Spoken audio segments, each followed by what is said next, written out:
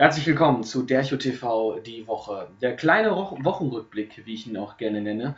Eine neue Ausgabe bzw. ein neues Format bei Dercho TV. Dieses Format ersetzt die News. Denn News spielen jeden Tag eine Rolle und deswegen würde es sich auch eigentlich lohnen, jeden Tag ein Video zu machen.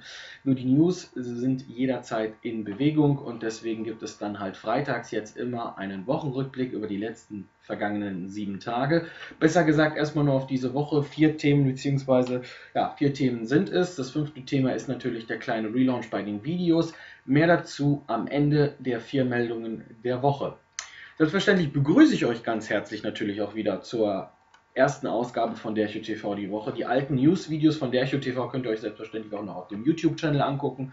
Aber natürlich auch weiterhin ähm, gibt es dann die News, wie schon gesagt, dann halt nur verpackt als Wochenrückblick, was ja eigentlich auch der eigentliche, sagen wir mal, die eigentliche Sache ja ist. Beginnen wollen wir mit dem aktuellsten Thema und zwar nämlich ist das das Zugunglück in Spanien bei Santiago de Compostela, denn dort ist ja am Mittwochabend ähm, ein Schnellzug entgleist. Über 200 Verletzte und auf dem aktuellsten Stand, wie ich jetzt bin, 78 Tote. Die Totenanzahl kann steigen wegen den schwer akuten Schwerverletzten bei den über 200, die es gibt. Der Zug war in Richtung, ähm, Richtung der Nordwest, Nord, Nordwestküste Spaniens unterwegs und einer Kurve und äh, bei einer Kurve so ist, die, ist dieser Schnellzug rausgesprungen. Es ist der schwerste Zugunfall in den letzten 40 Jahren in Spanien und eine Überwachungskamera hat diesen Moment, wo der Zug entgleist ist, auch noch mit aufgezeichnet. Das will ich euch mal kurzfristig mal zeigen. Deswegen jetzt groß auf den Desktop, schaut es euch an. Hier bei dieser Kurve sollte man eigentlich 80 Stundenkilometer fahren, aber hier war der Zug 110 Kilometer zu schnell. Der Zug hat auch noch die Kamera mitgenommen. Direkt hier bei dieser Kurve, direkt hier sprangen die, äh, sprangen die Waggons raus. Eins flog sogar über auf die Straße. Das, Letz-, das letzte Abteil fing Feuer und es kamen viele Menschen ums Leben, was natürlich auch sehr schlimm ist. Eine sehr schlimme Katastrophe und ähm, werden natürlich, es wird natürlich weiterhin darüber auch noch berichtet. In Spanien gilt jetzt drei Tage Staatstrauer. Der Ministerpräsident Rajoy, der Premierminister, der, beziehungsweise, ja, der äh, auch aus Santiago de Compostela kommt, war gestern vor Ort, hat sich das alles angeguckt. Es herrscht nun eine dreitägige Staatstrauer, auch übers Wochenende hinaus. In Santiago de Compostela sollte es eigentlich auch gestern ein großes Fest geben. Es wurde abgesagt wegen äh, dieser schlimmen Katastrophe. Wir werden euch weiter natürlich auch auf derchotv.wordpress.com auf den Laufenden halten, wie es ablaufen wird. Und ihr könnt natürlich auch eure Meinung dazu sagen und, und natürlich auch denken, warum das überhaupt auch äh, passiert ist. Denn der Lokführer selbst hat zugegeben, er war zu schnell. 80 waren auf dieser Kurve erlaubt, 190 ist er gefahren, also 110 zu schnell. Jetzt könnte man sich denken, warum hat er das überhaupt nicht gemacht oder was hätte man machen können, damit man sowas wieder verhindert.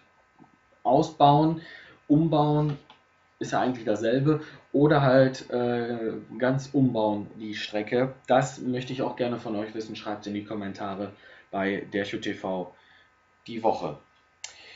Die nächste frische Meldung, eigentlich eine der frischesten Meldungen, besser gesagt. Vor zwei Wochen habe ich auf Dercho TV natürlich einen Artikel geschrieben über Praktika. Das war der erste Artikel mit Videoeinbindung. Das war jetzt natürlich eine Werbung. Praktika hat ja immer damit geworben, 20% äh, auf alles außer Tiernahrung. Damit ist jetzt vorübergehend Schluss, denn Praktika hat vor zwei Wochen Insolvenz angemeldet beim Hamburger Amtsgericht. Dasselbe musste leider jetzt auch die das Tochterunternehmen Max Bar machen. Man hat dort gedacht, es würde vielleicht dann finanziell besser gehen. Nicht, dass man dann auch so einen selben Kram macht wie die große, äh, große Schwester. Nee, Praktika 20% auf alles, da diesmal außer, außer Menschennahrung vielleicht, wer weiß. Und ähm, man sagte gegenüber ähm, dem ZDF, die positive Führungsprognose sei weggefallen, nachdem ein Warenkreditversicherer seine Zusage nicht aufrechterhalten habe. So Max Bar. Und man vermutet natürlich auch, dass das irgendwie jetzt quasi das Praktika seine, sein Tochterunternehmen quasi jetzt mitgezogen hat in die Insolvenz. Dort stehen über 300 ähm, Arbeitsplätze in Gefahr. Wie das natürlich weiter ausgehen wird, das werden wir in den nächsten Wochen erfahren. Entweder kommt es zur Schließung oder zum Verkauf. Denn Praktika und Max Bar sind gerade nicht so die ähm, beliebtesten oder erfolgreichsten Baumarktunternehmen. Auf den höheren Rängen hängt ja eher Hagebaumarkt, Obi und natürlich auch kleinere regionale, ich glaube Hellwig ist nicht regional, aber halt eher bekanntere wie Hellwig zum Beispiel stehen besser da. Was denkt ihr? Hat man übertrieben mit 20% auf alles, allein bei Praktika? Aber das habe ich glaube ich schon vor zwei Wochen gefragt bei der TV News, da könnt ihr euch das von vor 14 Tagen nochmal angucken, falls es da eine Ausgabe gab. Gab es so wahrscheinlich. Ja. Eure Meinung in die Kommentare. Jetzt kommt ein interessantes Medienthema, wo ich natürlich auch gerne sage, naja, es ist äh, passiert und man, ja, man sollte das eigentlich auch äh, vielleicht äh, denken, warum das macht. Es geht nämlich um den Axel Springer Verlag. Das sind unter anderem wie die Bild-Zeitung, die Welt unter anderem untergebracht. Und nun hat gestern die Axel Springer AG bekannt gegeben, sich von diversen Regionalzeitungen wie die Berliner Morgenpost und das Hamburger Abendblatt, mit dem der Namensgeber dieses Verlags, Axel Springer, vor über 60 Jahren angefangen hat. Und äh, das alles wird nun an die Funke Mediengruppe verkauft. Die Funke Mediengruppe hat ihren Sitz in Essen, besitzt unter anderem dort die ganzen, äh, die ehemaligen, es hieß ja nicht ehemalig, äh, es hieß ehemals Watz Mediengruppe, die Westdeutsche Allgemeine Zeitung. Vor wenigen Wochen wurde ja erst auch ähm, die ähm, Westfälische Rundschau, glaube ich, dicht gemacht. Ich weiß es jetzt auch nicht mehr. Ich habe mir gestern darüber noch einen Artikel angeguckt. Und ähm, nun werden unter anderem ähm, Regionalzeitungen, Programmzeitungen, Regionalzeitungen, wie schon gesagt, Berliner Morgenpost, Hamburger Abendblatt, Programmzeitungen wie Bildwoche, TV Digital und Frauenzeitschriften wie Bild der Frau und so weiter. Man kann sich jetzt natürlich auch denken, warum macht Springer das überhaupt? Ganz einfach, man will in die Zukunft. Es sind halt äh, Zeitschriften und Zeitungen, die eher so das 20. Jahrhundert geprägt haben. Sprich, als das Internet noch in den Kinderschuhen war, sprich, als das Internet damals wirklich noch zur Spionage galt. Heute ist es jetzt anders. Heute will man ja eher mehr im Internet arbeiten. Alleine bei Bild hat man ja bemerkt, es gibt Bild Plus, wo man äh, für einen Monat 99 Cent zahlt, für den Rest glaube ich irgendwie knappe 3, 4 Euro, um natürlich irgendwelche Artikel zu lesen, die man wahrscheinlich nicht lesen will vielleicht doch, aber dann sich eher dann doch lieber die Zeitung kauft, anstatt dann irgendwie ein Abonnement abzuschließen, wo man dann sagen kann, ja, ich lese sowieso nur, wollte nur sowieso den einen Artikel lesen, dann will ich sowieso das Abonnement nicht mehr haben. Deswegen geht der Axel Springer jetzt in Richtung digitale Medien, sprich halt auch äh, zum Beispiel Zeitungen über Tablets und so weiter, weil halt die Zahlen bei den Zeitungsverkäufen, sprich ganz normal, ihr geht in den Kiosk oder in die Tanke, kauft euch eine Zeitung, das funktioniert halt nicht mehr. Deswegen hat ähm, Axel Springer nun den Teil verkauft, soll zum 1. Januar 2014 gelten an die Funke Mediengruppe, die unter anderem auch mit ungefähr 25% an dem Regionalsender in Nordrhein-Westfalen NRW TV beteiligt ist, wo er damals, als es noch Watz Mediengruppe hieß, vor, sich vor drei Jahren zurückgezogen hat und den Anteil zurückgeschraubt hat. Das war früher mehr. Seitdem taumelt dieses äh, Regionalprogramm ein bisschen vor sich hin, vor ähm, Fremdproduktionen, nicht mehr Eigenproduktionen. Die Eigenproduktionen wurden stark eingeschränkt. Teletext gibt es nicht mehr. Bei der Homepage wurde einiges sagen wir mal, langweilig hingestellt, nämlich die News sind weg, das Forum ist weg und alles mögliche. NRW TV galt ja als irgendwie als der Regionalableger damals von Giga. So ähnlich, wenn ich auch was Falsches sage, denn dort lief ja damals die Sendung K3, da wurde die Sendung aufgesplittet, aber das ist dann ein anderes Thema. Der Kaufpreis für die ganzen Regionalzeitungen und alles beträgt 920 Millionen Euro. Und wie es dann nun weitergehen wird, ob dadurch natürlich auch jetzt Arbeitsplätze gefährdet sind. Das kann man sich wohl denken, denn unter anderem ist Axel Springer eher für die Marke Bild bekannt und die Funke halt eher nicht, eher für die Westfälische Nachrichten. Da habe ich jetzt glaube ich Fehler gemacht, Westfälische Nachrichten ist nämlich hier, Westfälische Rundschau war das sogar, die ja eingestellt wurde und ähm, hat auch eigene äh, Frauenzeitschriften. Deswegen werden wohl einige zusammengeschlossen und es werden Arbeitsplätze abgebaut, aber einige Magazine, wie zum Beispiel glaube ich die TV Digital, die ja in verschiedenen Varianten gibt, sei es für Sky, sei es für Kabel Deutschland, für Telekom Entertain oder halt natürlich für Unity Media. Die wird es wohl wahrscheinlich auch weiterhin geben. Da werden wir bestimmt auch noch eins oder anderes noch darüber hören. Auf dvdl.de, da möchte ich gerne darauf hinweisen, mal gucken, ob ich ähm, den Artikel auch finde, weise ich gerne darauf hin. Vielleicht werden es ja die, äh, die Leute von DWDL vielleicht sogar als Lob sehen. Gibt es einen Artikel, wo es steht fünf Gründe, warum dieser Verkauf ähm, stattgefunden hat und was für Konsequenzen entstehen könnten oder auch nicht. Das zum Beispiel Ist auch eine tolle Sache. Viertes Thema und somit vorletztes äh, Thema, beziehungsweise letztes Thema in diesem kleinen Format. Es geht um E. Ich bin Kunde bei E+, besser gesagt bei der kleinen Tochterunternehmen Base. Ich wusste selbst nicht, dass E+, zu einem holländischen Unternehmen gehörte denn es gehörte zu KPN. KPN hat sich mit Telefonica, das ist ein, äh, Tele, äh, ein Kommunikations-, Telekommunikationsunternehmen in Spanien mit einem Sitz in Deutschland, gehört unter anderem äh, zu Telefonica, gehört unter anderem O2. Die haben nämlich ähm, O2 gekauft für einen sagen und schreibenden Preis von 5 Milliarden Euro. Nicht so wie halt bei der Funke-Gruppe und Axel Springer mit ein paar Magazinen und 920 Millionen, aber das ist ja auch ähm, ein anderes Thema. Und natürlich will unter anderem, das auch dass man das auch so machen, dass 17,6% der Aktien auch noch bei KPN bleiben. Sprich aber der Rest kommt zu Telefonica. Was dann natürlich noch genau passieren wird, werden wir nicht wissen, denn die Kartellämter müssen noch zustimmen und mit der Fusion von O2 in Deutschland, selbstverständlich in Deutschland von O2 und E+, könnte man die Telekom von dem ersten Platz abdrängen. Es gibt derweil vier Mobilfunkanbieter mit eigenen Netzen. Es ist auf Platz 1 die Telekom, Platz 2 Vodafone, Platz 3 glaube ich E+, und Platz 4 O2. Schließen sich Platz 3 und Platz 4 zusammen, sind es nur noch drei, aber man kann sich dann natürlich auch denken, dass dann irgendwann die Telekom auf Platz 2 ist.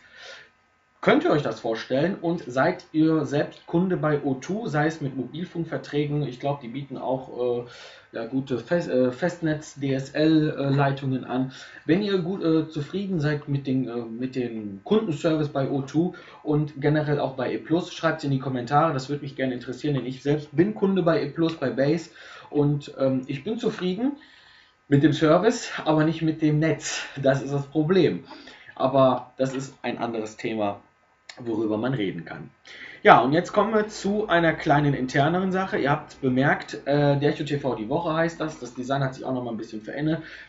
Sagen wir mal, die Kulisse hat sich auch ein bisschen verändert. Ich habe noch vor vier Tagen von der Position dort ges äh, gesendet. Kann ich jetzt schlechthin zeigen, weil er mein Bett ist. Und da, wo jetzt mein Bett ist, war da, wo jetzt mein Bett ist, habe ich noch vor vier Tagen gesendet, beziehungsweise vor einer Woche kamen von dort aus noch die äh, letzten News. Es gibt einen großen Relaunch, denn ich hätte noch die Chance gehabt, wieder auf Live-Sendung zu gehen. Ja, die große Chance besteht, wie ihr natürlich vielleicht wisst, wenn ihr mich noch kennt, von äh, noch vor einem halben Jahr gab es noch Wadi TV. Ein, ähm, sagen wir mal, ein mittelmäßiger Web-TV-Sender, mit einzelnen Sendungen, selbstverständlich auch mit Let's Plays wie Flive und mit Minecraft, live sogar auch noch. Und ähm, das Konzept hat sich gut gehalten. Problem war halt nur, ich habe illegal, äh, also ein bisschen Ärger gekriegt mit der Landesmedienanstalt. Ich will auch sagen, das haben die auch gut gemacht.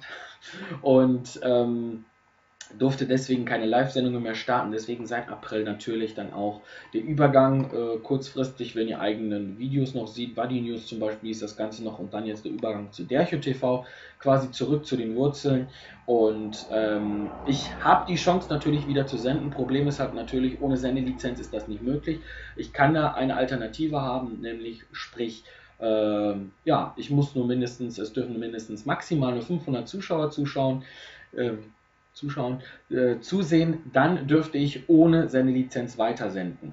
Problem ist halt, es ist schwer, so ein Portal zu finden. Wenn ihr vielleicht ein Portal kennt, wo man das machen kann, ist schön, könnt mir den Link schicken. Ich gucke es mir an. Aber vorerst bleibt das Ganze hier alles auf YouTube, denn ich merke auch, mit Live-Sendungen kann man viel bieten, kann man viel Interaktion machen, aber das kann man auch so machen, indem ihr einfach auch ein bisschen mitmacht, ein bisschen eure Meinung zu den jeweiligen Themen schreibt und alles Mögliche. Deswegen habe ich dann auch gesagt, dann gilt ab August eine neue, eine neue Video, also neue Struktur der Videos. Dercho TV die Show heißt jetzt einfach nur noch stumpf Dercho TV. Dercho TV News heißt jetzt Dercho TV die Woche.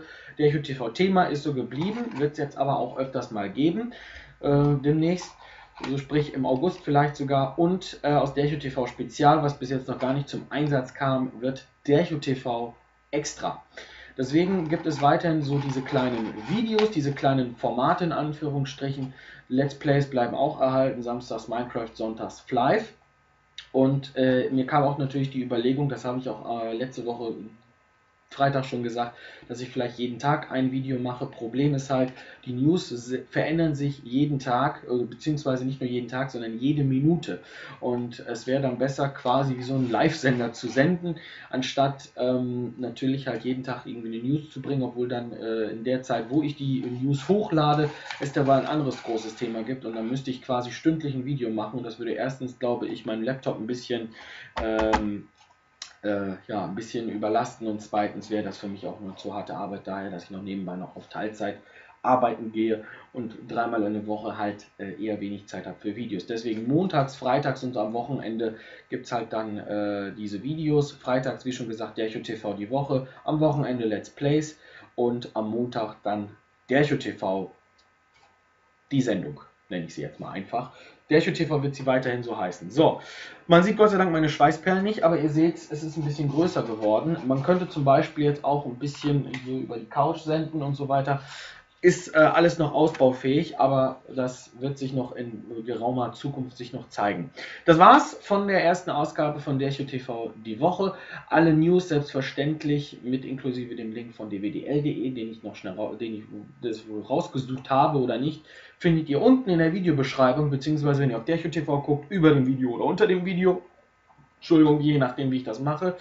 Sonst sehen wir uns dann am Montag wieder zu Dercho TV. Und auch wenn ich jetzt hier so ein bisschen lustlos und so weiter ähm, sitze, ist auch nicht schlimm.